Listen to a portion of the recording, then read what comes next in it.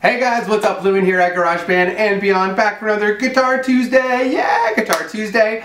Um, today I'm going to be making a quick, simple video. This is for the DIY guys out there. This is a really easy thing that I've been doing for years. Something that makes my life a lot easier, and I figured it would uh, be a good thing for you guys to know about. So I'm just going to show you. This is just my little string box um, thing that I've been making these. I have a few of them now for different instruments.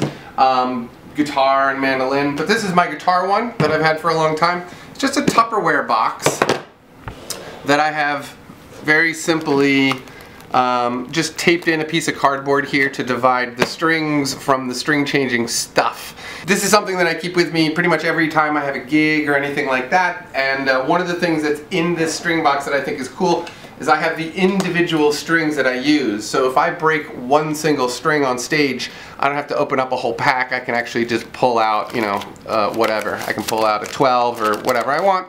And, um, and that way I have the individual strings.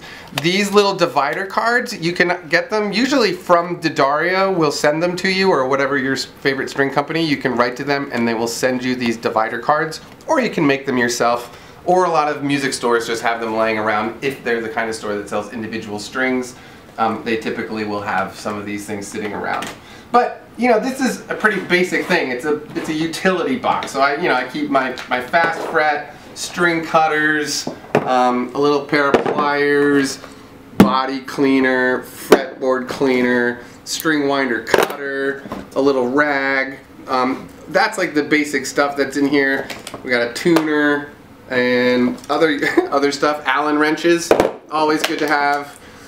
Allen wrenches have a pickup in here. You know, generic shit. uh, oh, there's even a humidifier in here. All this stuff goes into this one box and every single time I need, you know, this kind of stuff, I know it's in the box and it's a really easy way to keep my stuff organized. And I highly recommend making one of these boxes for yourself because they're cheap to make, obviously but they're super, super handy to have around. And if you use these Tupperware uh, boxes, they're good and durable, so you can, you know, toss them in backpacks and they can get wet and stuff like that. Um, but otherwise, that's pretty much it. Make your own string box, keep your stuff together and organized. It'll make your lives easier when you're changing your strings.